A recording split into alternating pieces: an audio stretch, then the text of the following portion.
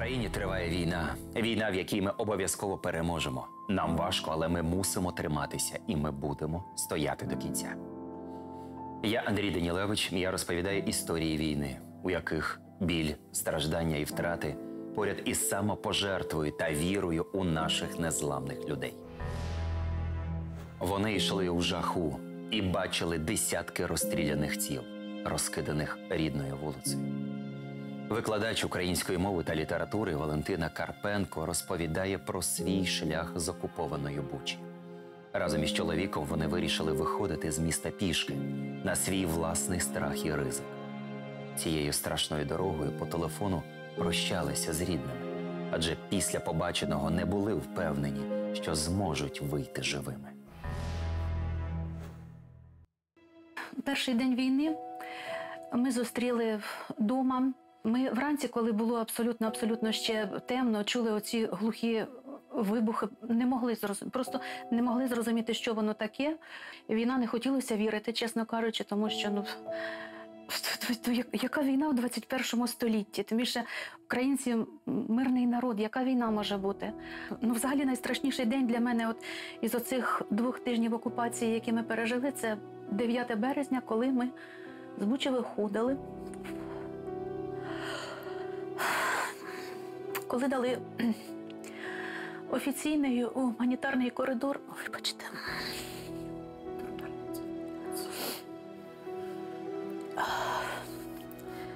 Ми не ризикнули їхати машиною, тому що тому що говорили, що машини розстрілюють, чутки такі доходили, і доходило дуже багато, і вони були не безпідставними. Ми потім по фотографіях, по знайомих там деяких було це зрозуміло, тому що один загинув таким чином на бусику своєму біленькому. Ми через те вирішили піти ногами. Не до міськради навіть нашої, тому що сказали, що тут мають бути автобуси евакуаційні. Ми теж побоялися, а раптом буде, що їх не буде, і ми побоялися ну не, не безпідставно, тому що так воно 9 числа і було. Ми вийшли на вокзальну через нашого Антонія Михайловського. Ми пройшли чотири російські блокпости. Їх було так багато, цих росіян біля е, того БТРа. Ти проходиш мимо них, і ти відчуваєш, що це. Це твоя земля, ти тут маєш бути хазяїном. А воно прийшло, обчіплялося цими автоматами і подать собі як хазяїн він. Потім було ще три таких блокпости. А потім було найстрашніше, те, що я бачила за війну в нашому регіоні. Коли ми повернули направо, це була вулиця Яблунська, там по ній треба було пройти буквально 100 метрів для того, щоб вийти знову таки на вокзальну і повернути наліво. Ми побачили шістьох розстріляних людей. П'ятеро чоловіків, одна жінка. П'ятеро ці. Вони лежали просто на проїжджій частині. От асфальт, один чоловік якось лежав так, що частково на асфальті, частково на тротуарі, по якому ми йшли. Ми зупинилися, це було так страшно іти мимо них, але по-іншому обійти там ніяк не можна було. Вони лежали в калюжах крові, ці люди, чорні ці були калюжі, то лежали тут уже не один день. А велосипедист, я так розумію, він потрапив сюди просто просто випадково. Людина їхала, от коли стріляли в цих людей. У нього до е, велосипеда був прив'язаний кошик з кришкою. І от коли він впав, кошик цей розкрився, картопля посипалася, цибуля посипалася, е, бурячок, воно все кругле, і воно розкотилося по дорозі. Це людина або везла комусь, або або, або собі везла від когось, і і людину так хтось і не діждався. Це було таке страхіття, це було таке страхіття. Боже, я не можу забути цю картину, чесно кажучи, вона постійно спливає перед очима. Ну, Що потім? Потім треба було пройти через міст, через е, Бучанку, там річечка ж називається. Він був повністю весь замінований, не так, мабуть, десь метрів 15 вперед. От все все лежали міни і вздовж е, поперед моста, і вздовж. Міни, міни, міни, їх було дуже багато. І за мостом було декілька вбитих їх росіян. Їх не шкода було, я вам клянуся, їх не шкода було. Просто думалося, що Боже, так вам і треба. От ви прийшли по нашу землю, от заполучіть нашу землю оце таким чином. А з голови не йшли ті шестеро людей, які, яких ми оце бачили. І тільки після того, коли наші військові привітались, сказали. Добрий день, знімайте себе вже всі оці білі ганебні позначки. А виходили то як? Або тут біла велика пов'язка в нас, або тут має бути щось біле накинуте, щоб видно було, що цивільне населення. Люди йдуть в евакуацію. Тільки після того, коли вони сказали, те знімайте себе оці ганебні білі позначки, ми зрозуміли, що це наші, що ми дійшли, і, і так попустило. Боже, так попустило, що що вам сказати. До Києва добиралися потім. Теж власне з пригодами на превеликий жаль, тому що за блокпостом були автобуси, які не пустили в Бучу. От 9 числа в Бучу їх не пустили. Е, Автобуси пусті оці почали їхати назад. Ми вже влаштувалися в цю колону. Колону прилаштувалися, приїхали до там вже до стоянки до цього блокпоста російського їхати дуже ну небагато. Взагалі дуже дуже небагато. І ми туди приїхали. Десь, мабуть, була година до, до початку комендантської години. І нас там зупинили, і нас там мордували 4 години. Вони розказували про те, що росіяни, я маю на увазі, розказували про те, що вас не пускають ваші, там іще що-небудь, то в них чогось не вистачає. Ну, коротше кажучи, вони зробили все для того, щоб нас у цей день не пропустити. І ви знаєте, от кого я з великим теплом і такою вдячністю згадую за автобуси. По автобусах були хлопці ДСНСники, які розказували свою історію, як вони добиралися туди до Ірпеня, що їх вивели з автобусів на блокпосту, коли вони їхали сюди. Їх поклали лицем на землю. Мороз це ж уже був. Вони три години лежали лицем на землі. Їм не давали можливості зайти в автобуси. От вони оце таке про себе розказали. І потім, коли е, стояли біля цього блокпоста, де десь о восьмій годині, чи може навіть пів дев'ятого, вони заходять і говорять про те, що. Нам доведеться ночувати в підвалі якоїсь тут новобудови. Колона автобусів стоїть. Тут з боку, з правого боку, е, танки їхні закопані трошки в землю. Російські танки дулами. Воно все ну, дула спрямовані оце на цю колону. Воно звичайно моторошно було ну з усієї сили, тому що ну під таким прицілом постійно. І нас завели в якийсь будинок, новобудову, підвальне приміщення. Там ніхто не живе. Страшенно холодно. Було страшенно, страшенно холодно. Там е, було дуже багато діток у віці таких десь один-два роки. Їх шукали дошки, які там були в підвалі, для того, щоб скласти їх докупи. Е, Мами, які були з цими дітками. Собою набирали, понабирали якихось ковдр, то це застеляли ковдрами. Дітки ті покотом лежали, е, зверху накривали теж ковдрами. Ну, це жахливо, чесно кажучи. Ну, не повинно бути таке дитинство в наших дітей. Добре, що вони маленькі, що вони не розуміли цього нічого. Нас пропустили потім наступного дня вранці, 10-го. Повернулися ми сюди 14 травня. Е, Не могли дочекатися, чесно кажучи, поки можна буде вже повернутися. А що наразі вас мотивує? Що дає вам сил? Віра. Віра в наші збройні сили, віра в нашу перемогу. Це поруч із першим. Велика надія на те, що наш народ зараз наскільки змів зорганізуватися і об'єднатися, і що оце відчуття єдності і організованості от, допоможе нам здобути дві перші мрії, про які я сказала, і допоможе нам відбудувати нашу країну. Все буде добре, все буде Україна. Ізюм місто, яке росіяни захоплювали із запеклими боями, і яке втратили буквально за лічені дні. Під час окупації виїхати на контрольовані Україною території було практично неможливо. Росіяни безжально розстрілювали колони з місцевими мешканцями, тому доводилося ховатися у підвалах і чекати свого часу. Але були і ті, хто категорично відмовлявся залишати рідне місто. Серед них і герой нашого наступного сюжету. Ось його історія війни.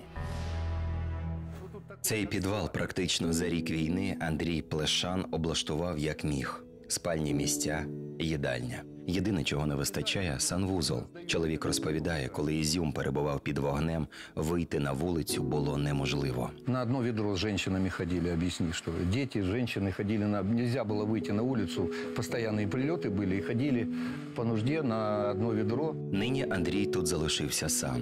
В його компанії собаки та коти. Чоловік категорично відмовляється виїжджати з рідного міста. Після визволення тут уже відновили електропостачання, і підвал тепер освітлений лампами. А ще кілька місяців тому мешканці цього приміщення викручувалися як могли. Свічей толком не було, вже об'ясні, м, и темно было, там какие-то свечи и горелки, ж объясним. Помнишь, я тебе рассказывал, что э, подсолнечное масло и через картошку и э, бинт протянутый через подсолнечное масло и зажигали, и вот, вот такие лучинки делали. Під час окупації було дуже важко, згадує Андрій. Росіяни часто навідувалися до місцевих. Приходили сюда, спускали же с оружием, светили тут со, со- со стволами на изготове были. И нас же выводили всех мужиков, раздевали на улице По пояс. Ну, холодно было, но тем не менее, вот так же ж меня первого, ну, кто старший сразу, Юрич, Юрич, Юрич, меня там вот так и закрепилось, Юрич. Вот. Ну, страшно было. Масові поховання під Ізюмом одна із найстрашніших знахідок після деокупації цих територій. Як діяли росіяни, Андрію досі важко згадувати. У підвалах, де ховалися від бомб та снарядів місцеві, окупанти вишукували українських військових та осіб незручних для російського режиму. Смотрели гематому от приклада. Если ты стреляешь, у тебя остается ж на плече. Иногда остается, если... Да. Синяк. Ты понял? Насчет этого, наверное, смотрели. Ну, документы постоянно проверяют. Без, без паспорта никуда вообще двигаться нельзя. Утримувати довго Ізюм росіянам не вдалося. Під час успішного вересневого контрнаступу української армії ворог зазнав колосальних втрат і відступив. Ну, спится чуть-чуть, конечно, лучше. До этого я все время прислушивался. Ну, боялся, ж, когда придут, зачистка будет, выгонят нас отсюда, не выгонят нас отсюда, будут там арестовывать, не будут арестовывать. Вот так.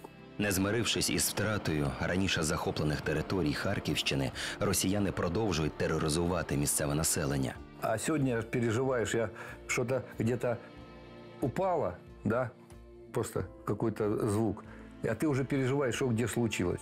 До повномасштабного вторгнення в Ізюмі мешкало близько 45 тисяч людей. Після звільнення місцевим запропонували тимчасово виїхати у безпечніші регіони країни. Але кілька тисяч городян, таких як Андрій, залишаються в місті. Усі українці, і ті, хто виїхав, і ті, хто залишився, мріють про одне повернутися додому. Вони чекають на перемогу, щоб розпочати відновлювати рідні міста.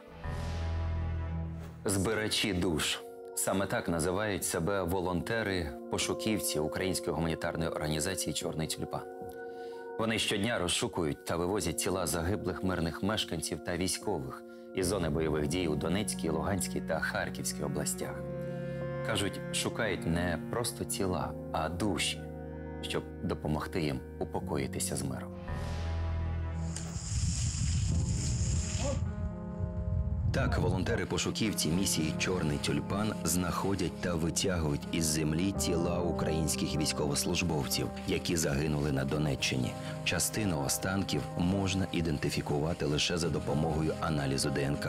Іноді встановити особу вдається за знайденими документами або особистими речами загиблого. Цього ніколи не звикнеш, тому що ти, коли знаходиш хлопця, ти з ним переживаєш оцей кошмар, цей жах, який був в останні моменти, що він, він розумів, що все, дороги назад немає, і ти разом з ним це все переживаєш. До 2014 року Олексій Юков займався пошуком солдатів, полеглих на фронтах Першої та Другої світової війни. Сигналочка. Далее, три патрона ПТРу выбило всю нижнюю часть затылочную. Останков рядом не было.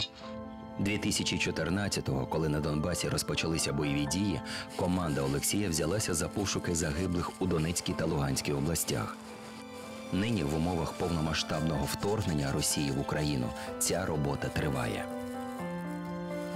Це дуже важко, дуже важко, тому що ти розумієш, що зараз ти повідомиш рідні, рідним, що ну, близького немає. Все. Ми його знайшли, і всі надії, на жаль, всі надії, які в них були, що може він у полоні або десь переховується, вони просто тають.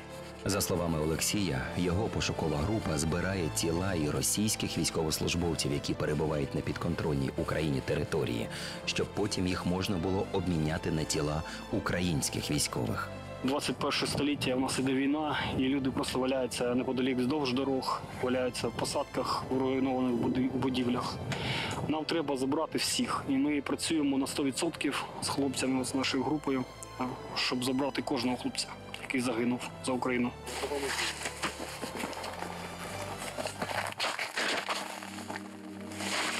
Коли ми знаходимо наших, ну я відчуваю, що ми робимо ну, гарну справу, бо батьки чекають на них вдома. І е, є розуміння, що його поховають як потрібно е, по всім ну, традиціям християнським чи тої релігії, до якої відноситься, а не лежить десь в лісах, полях та на вулицях. Для таких пошукових робіт потрібні залізні нерви. Волонтери місії Чорний тюльпан кажуть, що вони самі собі психологи, знають, як упоратися з емоціями, адже проходили навчання у міжнародному Червоному Хресті.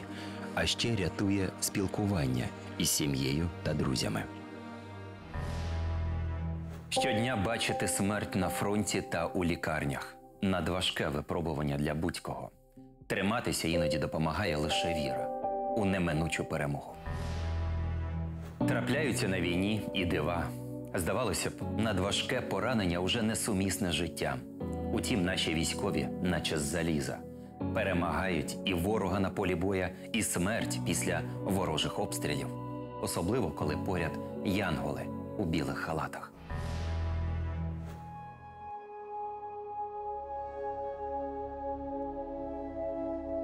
Это аппарат внешней фиксации. Э, Стержни закручены в кость и фиксированы штангой. При огнестрельных ранах это чуть ли не единственный способ, как можно зафиксировать перелом. Палата в одному з медзакладів Дніпра. Травматолог розповідає про унікальний випадок. Попри важке вибухове поранення, українському бійцю врятували ногу. Взрывные раны, они всегда инфицированные. Мягкие ткани сильно пострадали от энергии взрыва. Юрію 43. Він родом із Закарпаття. До лав Збройних сил України пішов добровольцем на початку березня і вже понад півроку боронить Україну на Донецькому напрямку. Робота навідників, масований обстріл, падіння і тупий удар у нозі. Так ворожу атаку під Бахмутом, який дивом вижив, описує сам Юрій. Я навіть не встиг і зреагувати. Почала свистіти над головами. Один за одним вихлоп, вихлопи були такі. Кучка камня була. Я спиною за камні, а ноги виступали. Согнув під себе, так согнувся і, і тому чую такий удар, наче, наче коли би удар, тупий удар. Це рентгенівський знімок роздробленої ноги Юрія. На ньому чітко видно, де саме застряг уламок. На снимке виден осколок и, собственно, перелом бедра. И в бедренную кость увинчены стержни шанса, которые удерживают бедренную кость. Это большой осколок. Пуля примерно таких же размеров. Десятки складних мінно-вибухових травм щодня. Медики Дніпра рятують життя і до останнього борються, аби не допустити ампутації та зберегти пацієнтові кінцівку. У випадку з Юрієм це вдалося. За своє телевізійне життя я чув чимало історій. Серед них багато сумних і ще більше щасливих. Утім, головне, що я для себе зрозумів за час війни в Україні, наші люди найсильніші. Ми не бачимо перешкод, коли маємо велику мрію. Хай так і буде. Хай наша мрія стане реальністю разом до перемоги. Я Андрій Данілевич, і я буду розповідати історії війни наших людей, щоб цей жах був припинений і більше ніколи не повторився. Будемо жити і пам'ятати.